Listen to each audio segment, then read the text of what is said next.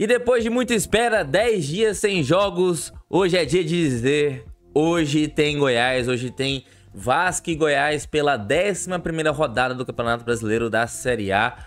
Goiás que volta a jogar pelo Brasileirão sem chances de sair da zona do rebaixamento devido aos resultados que aconteceram, mas tem jogo decisivo contra adversário direto, enfrenta o Vasco que vive crise com a torcida e também no Campeonato Brasileiro. Então é jogo decisivo nessa quinta-feira às 8 horas da noite no estádio São Januário. E a gente fala mais sobre Vasco e Goiás logo depois da vinheta.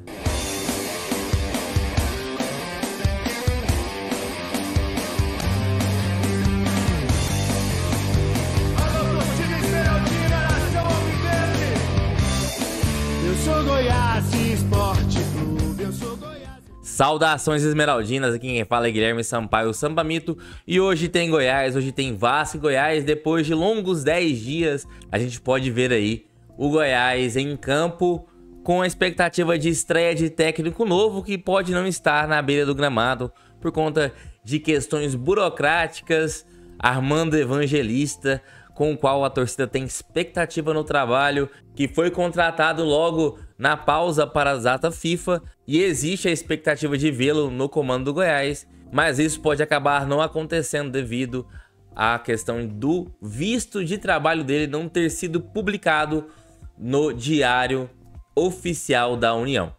Mas antes que eu me esqueça, deixe aqui o seu like, se inscreva no canal, ative o sininho para os próximos vídeos e próximas lives, que aqui o canal Sintonia Esmeraldina é feito de esmeraldino para esmeraldino, aqui o nosso foco é o Goiás, e eu te convido também a conhecer o nosso site sintoniaesmeraldina.com.br, um portal de informações dedicado ao Goiás Esporte Clube, feito para você, torcedor do Goiás. E nesta quinta-feira o Goiás tem jogo difícil, jogo onde ambos os times estão pressionados. A torcida do Vasco esgotou os ingressos, mas está fazendo pressão contra o elenco. Então isso vai ser um dos fatores emocionais desse jogo, né?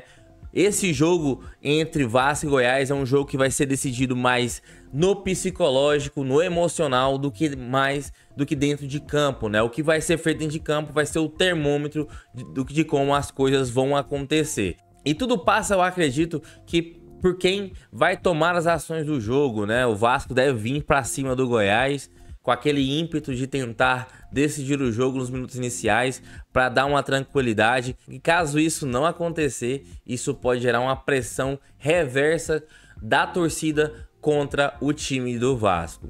O Goiás que chega aí com a sua comissão técnica nova, né, com o comando do português Armando Evangelista, que pode não estar na beira do campo, mas acompanhou o time para o Rio de Janeiro. Goiás que vai ter aí sequência, né? A partir de hoje, três jogos em sequência. O Goiás não volta para Goiânia, volta para Goiânia só depois do jogo contra o Santa Fé na quarta-feira que vem na Colômbia. O Goiás que tem desfalques para esse jogo de hoje. Dieguinho Vinícius e Gabriel Novaes estão fora por questões clínicas, né?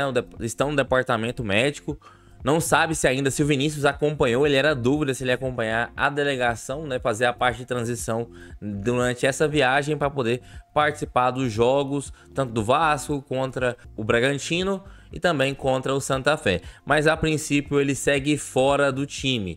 O Gabriel Novaes teve uma lesão na posterior da coxa e também está fora desses três jogos do Goiás. Então hoje o Goiás deve ir a campo com Tadeu, Maguinho lateral direita, Maguinho que volta de suspensão, Lucas Alto e Bruno Melo, Sander no meio de campo, Zé Ricardo, Morelli e Palácios, no ataque, Alisson, Matheus Peixoto e a dúvida da escalação. Se o Goiás vai entrar com meia esquerda, que seria, por exemplo, o Guilherme fazendo a meia esquerda mais no setor criativo, ou se a entrada do Mateuzinho fazendo ali um, um quase que um ponta, né? um ponta direita ali, já que as características do técnico Armando Evangelista é a escalação no time no 4-2-3-1.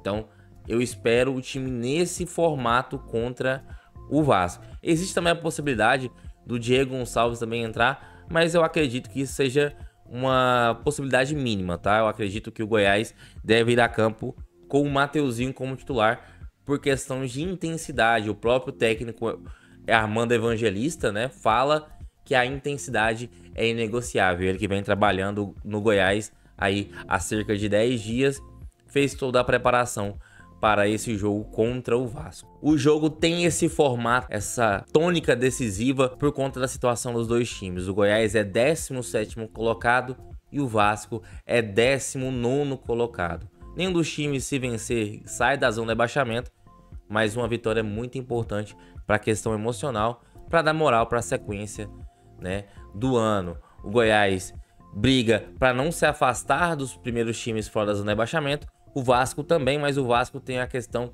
de toda a expectativa que foi gerada por conta do investimento, né? O Vasco se tornou SAF e isso não, não deu certo de início, né? O Campeonato Brasileiro, o Vasco só venceu na primeira rodada e desde então não vence mais, né? Então, o Vasco que tem cinco derrotas consecutivas, o Vasco não venceu como mandante, mas também o Goiás também não venceu como visitante. Então o Goiás só tem apenas um ponto como visitante nessa competição no Campeonato Brasileiro da Série A. Então é jogo muito difícil, jogo truncado. E existe a expectativa do nosso lado, do Goiás, de ver como o time vai se portar com a nova comissão técnica, com o comando do técnico Armando Evangelista. Espero que ele corrija os defeitos do time, como ele mesmo disse, é, conservar a baliza a zero. O que, que ele quer dizer? Que ele quer dizer que o Goiás fique sem sofrer gols. Goiás sofreu gols em todos os jogos do campeonato até agora. Então, tudo começa, né? Ele fala até o exemplo de um edifício que o alicerce será o Goiás não sofrer gols, que a partir disso o Goiás partir, irá partir para conseguir resultado. Então, o Goiás deve ter, ser um time mais consistente defensivamente e com tramas ofensivas mais trabalhadas. O jogo acontece nesta quinta-feira às 8 horas no horário de Brasília, no estádio São Januário.